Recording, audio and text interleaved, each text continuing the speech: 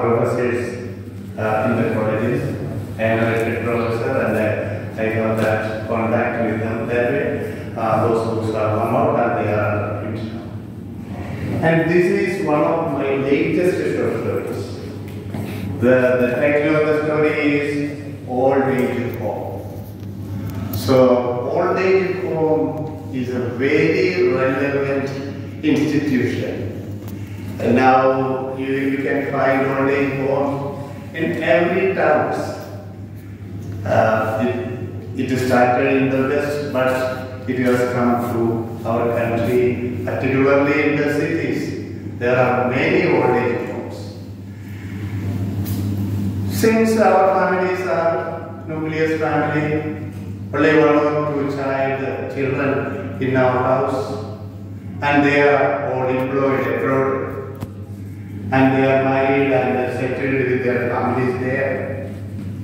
Naturally, the parents they want to, the children want to take their parents to their those Western countries where they are. But the poor parents, they do not want to leave the land where they are born and brought up. So it is a very painful experience for any parent to go and live in a Western country. Because we are born in this land, we are brought up in this culture, and our relatives and everybody is here. So we are rooted to this land. So we cannot be plucked from this land and uh, located there. That's a problem. For the younger generation, of course, they have to survive and uh, as to get high salary. They need to go get employment, seek employment abroad, and they are happy there. Their children are happy there, but uh, their parents are not at all happy. So some are going with them, whereas some are living in their own house in India in different states, and uh, some are forced to be uh, uh, taken into old age homes. So here there is a, case about an old age home in Kerala. Of course, the locale is Kerala. Of course, fiction it is, as you know. Two characters are there in that old age home. One is a retired professor. That professor has no children, and his wife also has died. He has no kith and kin to look after. So he opted himself to join an old age home. And the pension he gets as professor, he is giving that pension to that old age home management. And he is very, very happy.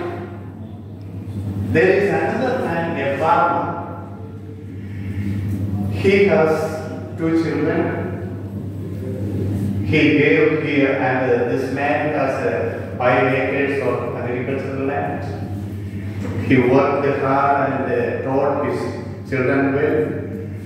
They were very brilliant in studies. They got employment abroad. They were married and settled there. Now, these parents have become very old. And uh, this man, uh, particularly the father, mother also meanwhile is dead in the story that we are coming to. And uh, how he come, he how he is destined to come to this old age home, and how he spends his life there, and what happened to him ultimately. That's what we are going to see in this story. It is in the form of a dialogue. Actually, it can be classified under one night play. That also is possible. So I am going to further detail. You, it is only a very short one. I am going to present the story as so that you will get the full beauty of it. Hello friends, I am Ravi, an inmate, inmate of this old home for nearly 10 years now. So, dialogue. Hope you are a new member who joined us recently. Kindly tell me your name. David, aged 80, introduced himself sitting on a chair opposite to the stranger in the parlor, parlor of the old home. Glad to meet you, dear Ravi. I am Jacob, who joined this home three days ago, just three days ago. Jacob replied, David, I would like to know more about you. It would be proper if I tell you my history first before seeking yours. I am a retired college professor from Kochi. I have none to look after me. My wife passed away 10 years back and we have no children. Unfortunately, I am the only offspring of my parents and no relatives to depend upon. In fact, I wanted to adopt a child, but my wife was against it. She too was a college professor in the same college. She died of cancer at the age of 68. Left all alone, I decided to seek refuge here. The pension I am drawing is given to the managing director of this home for my accommodation and care. To be frank, I am very happy here. Unfortunately, I don't have any serious health problems. Now, kindly tell me your whereabouts. Jacob replies. Very glad to hear that you are very happy in this home. Though childless a man, you are fortunate in a way when compared to me, a father of three children. I am a farmer by profession. Though a graduate, I couldn't seek any government job since I was the eldest son of my parents and my father needed my help in managing the five acres of agricultural land we have. My three brothers and two sisters are all highly educated and they are all employed and settled with their families in the States.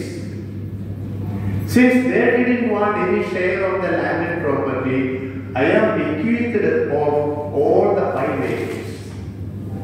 My parents died some 20 years back. I have been fully satisfied with the farming occupation, and my wife Nancy was my right hand, always helping me in the farmlands from morning till evening. All kinds of farming were there paddy, coconut, nutmeg, cocoa, banana, mango, and varieties of vegetables. I believe that agriculture is the happiest of all professions. To be in the lap of Mother Earth, savoring her bounties, communicating with her offspring, the plants, animals, birds, flies, is a heavenly experience. Of course, there were occasion, occasional moments of sorrow caused by drought and excess rain. After all, they are the ways of nature. Jacob paused for a moment. David then says, How pleasure giving your talk is, dear Jacob. Kindly continue your history. Jacob continues. I have three sons and no daughters. We gave them good education and they were all brilliant in their studies. All got admission for medical studies and became doctors. They are married and are settled with their families in the States. As they desired, our ancestral house was demolished, and at that site they built a large palatial house. They visit us once in a year, staying with us just a month. When I after farming, I couldn't sit idle, e- idle even though the children insisted me to keep away from such agriculture. Along with my two laborers, I went into my farmlands in the morning and worked till evening. My sons wanted to take me and wife my and my wife Mercy to their houses in the states and stay with them. But for me, leaving my land is like leaving my body. And we are we told them that we would stay in our house till we die. As you can imagine, my sons can't forego their huge income and luxurious life there and work in our country earning very less. On the our grandchildren longed to stay with us for more days and play in the lap of nature, to be in the company of the cows, dogs, cats, fowls, butterflies, birds, etc. And we too enjoyed their sweet presence. No doubt they yearned for more of our presence than their parents. It was with that we saw them off after their vacation here. We had to accept the reality that our children and their families couldn't stay with us forever since they are all American citizens and enjoy life there. Jacob paused to wipe out tears from his eyes. David, David said, I can read your mind, Jacob. How painful it is for you to be away from your children. And where is your wife? Is she living with them in the States? Jacob says, No. She departed the world, leaving me all alone last month. She had any serious health problem. She caught fever and was taking medicine for it, but suddenly collapsed in the kitchen in the evening. With the help of the maid, she was taken to the hospital, but she died on the way. Tears started flowing through his cheeks. David says, Don't cry, dear Jacob. After all, she was old like you, and one day or other we have to leave this world. Health is, death is, death is waiting with his chariot to take us all, one after another. I feel that she had a happy death, and we shall pray for such painless, trou- trouble-free death. Jacob then replied, True, she had a happy death. But I can't live any moment without sweet memories of it. She had been my soulmate and right hand for long 60 years. Only time can cure my bleeding heart. He started weeping again. David then said, Calm down, dear. Here, don't weep. Did all your children come for the burial of your wife? Jacob, wiping his tears, he said, Yes, they all came for the burial, and after 15 days with me, they went back, leaving me here. They asked me to accompany them, but I said that I can't leave my house and land. I told them that I would stay here alone and the maid would come every day to cook food for me. But they were not willing to leave me alone. Who is there to care if anything happens to me in night? They asked.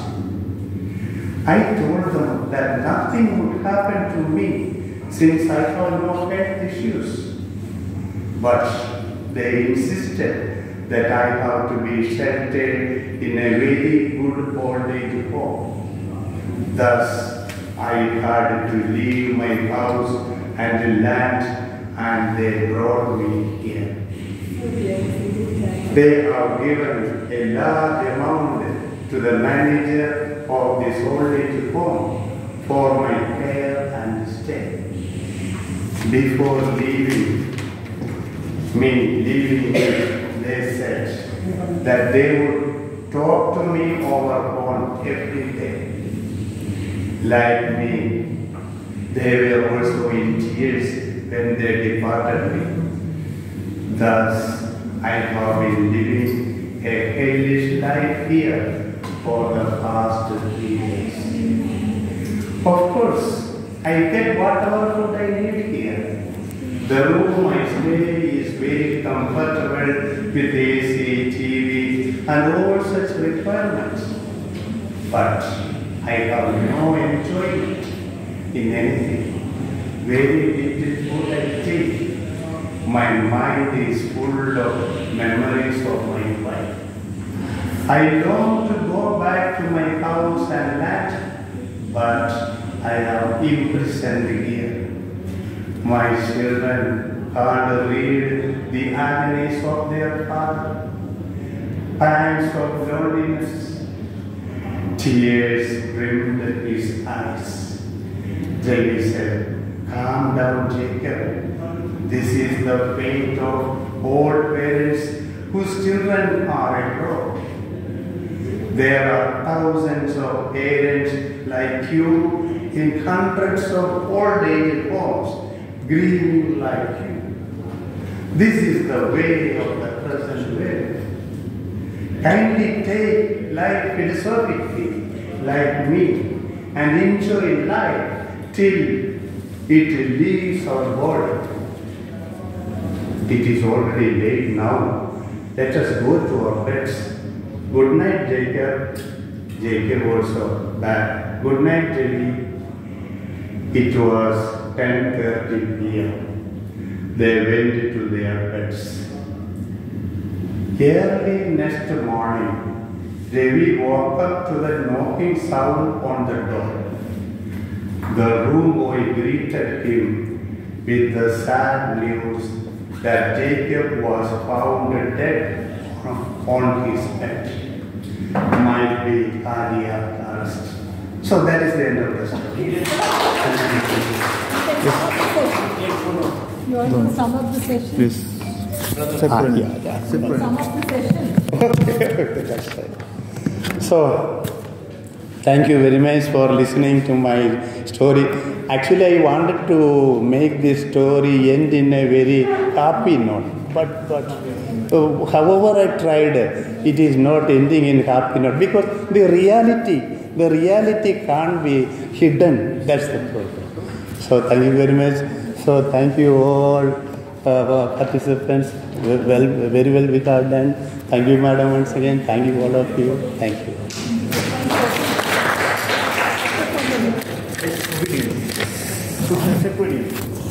No, no, no.